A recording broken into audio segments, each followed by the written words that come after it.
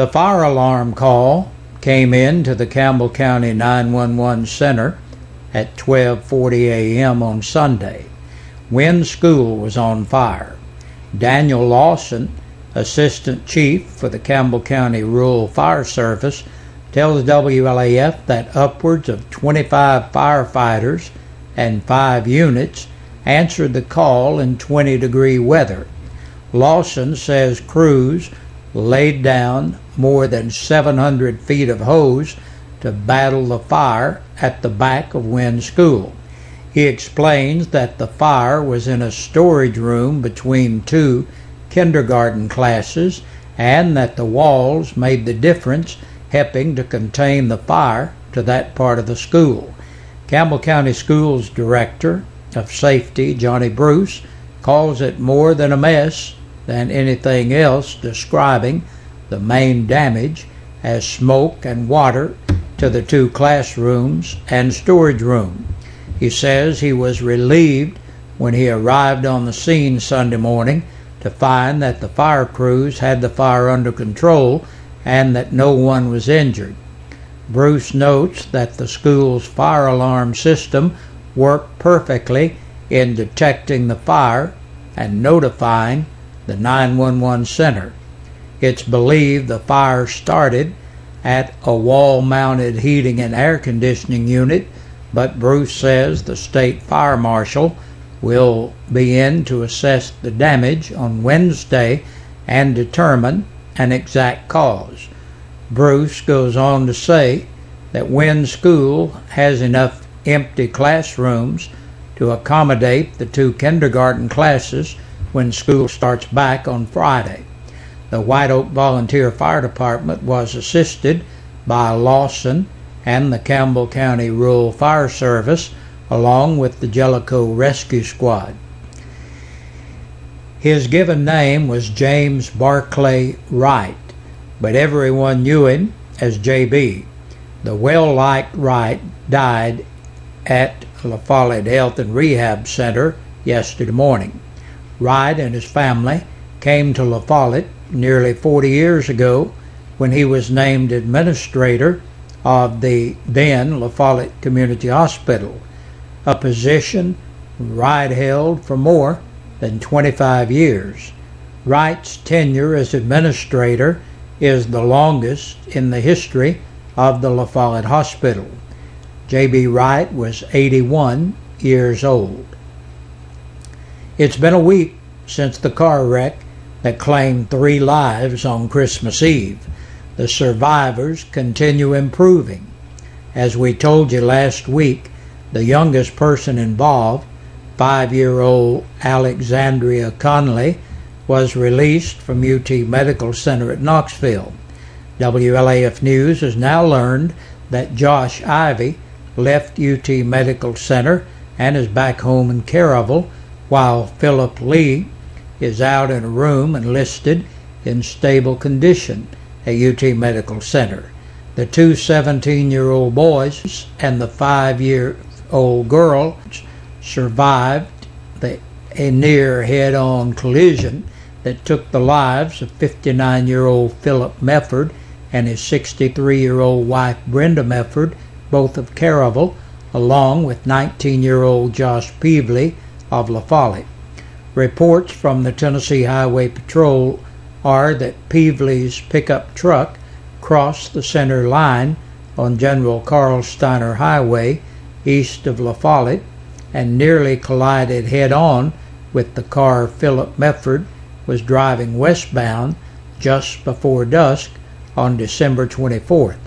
Services for the Meffords were held last week while a celebration of life for Peevely takes place tonight. And we cannot leave you this evening without wishing you a safe and enjoyable night and a very happy new year.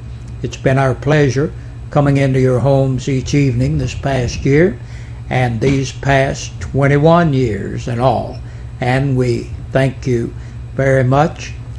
Have a great day. Back with a press release in just a moment and it looks like 28 people were booked into the Campbell County Jail during the past weekend.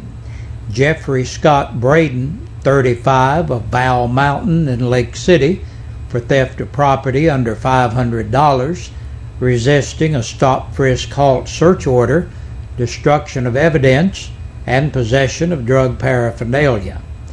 46 year old Bobby Ray Branham of Kidwell Lane in Jacksboro entered the jail to serve court imposed time.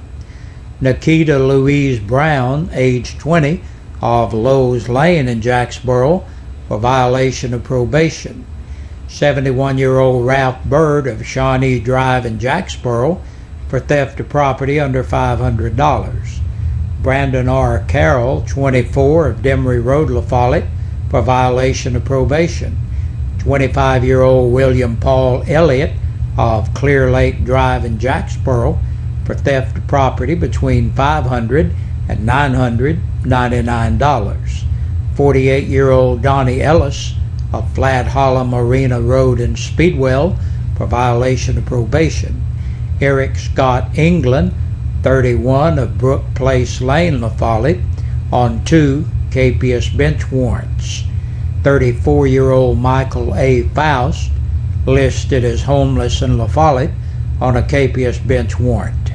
Timothy Allen Garland, 20 years old, from London, Kentucky, for underage DUI, violation of the light law, driving left of the center line, violation of the litter law, violation of the seat belt law, and underage consumption of alcohol, as well as violation of the driver's license law. 24 year old Daniel Dwayne Hamblin of West Forest Street, La Follette, for violation of probation. Joseph Landon Harris, 20, of Morehead, Kentucky, for DUI and underage consumption of alcohol. 24 year old Danielle Brooke Heron of Vincent Hollow Lane in Jacksboro on two KPS bench warrants. Tashina Jewel Hill, 24, of Back Valley Road, La Follette, for theft of property between $500 and $999. 21 year old Tyler Jeffrey Holman of White Oak Road in Duff for violation of probation. Michael Robert Howerton, 32 of Knoxville, for driving while revoked and violation of the Tennessee financial law. Darrell Wayne Kennedy, 48 of West Forest Street, La Follette, for driving while revoked, violation of the Tennessee financial law, and on a KPS bench warrant. 28 year old Erica Renee Kidd of Pinecrest Road in Jacksboro on a KPS bench warrant. Catherine Lee McClellan, 22 of Masonic Drive in Charlotte, North Carolina for domestic violence by assault. Lindsay Cheyenne Norris, age 20 of Jacksboro, for violation of the drug court rules and regulations. Azalee Nicole O'Hara, age 20 of Jellicoe, was picked up on a hold for another agency. 25 year old Cody Matthew Patterson of Springs Lane, La Follette, for violation of probation. Tara Daniel Rayner, 21, of Carview Lane in Speedwell, for obtaining a prescription by fraud and violation of the registration law. 22 year old Tyler A. Richardson of Pioneer for aggravated assault by domestic violence.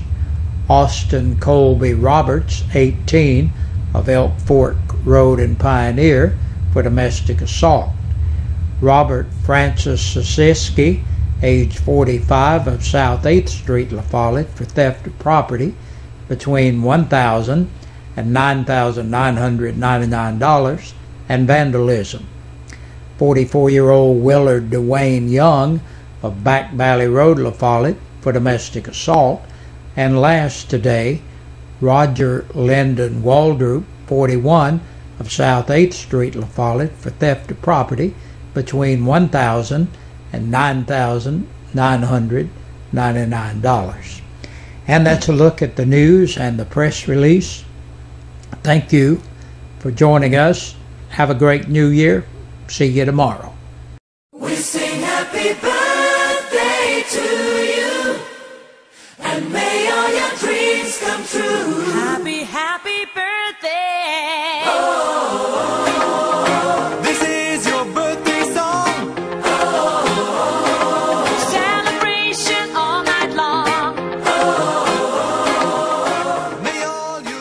Hey, Big Josh with you on this New Year's Eve doing our birthday and anniversary club for you. And they're brought to you by WLAF and Eastside Pizza and Deli. I want to tell you about the birthdays and anniversaries. If you get your name on our list, and we have a drawing each Friday, and if your name is drawn, you could win a birthday or an anniversary dinner for two from WLAF and Eastside Pizza. Okay, let's get set here. And looking at uh, yesterday, our birthdays, Lindsay Marie Johnson turned 14 years old yesterday. Happy birthday, Lindsay. And Rosalie Heatherly had a birthday yesterday. Happy birthday to you, Rosa. And on Saturday, Teresa Ivy turned 37 years old. Happy birthday to Teresa. And Louise Powers celebrated on Saturday. Now, from the 3rd of December, Lona Bolton had a birthday. Happy birthday, Lona, belated. And on the 6th, little Paul Rutherford had a birthday. Happy birthday to you, little Paul. We hope you had a great one. And on the 23rd, Paul Henry Rutherford celebrated. Happy birthday to you, Paul Henry. We hope everybody's day was great. And if you're celebrating today, like we said, we want you to have a good day too on your birthday. And on our anniversaries, I have to mention to you that Lester and Frankie Green celebrating number 15 today. Happy anniversary to you, Frankie and Lester. We hope everybody's day is super. Hey, I got to get out here. I've run out of, I've talked myself out of time. See you tomorrow, okay?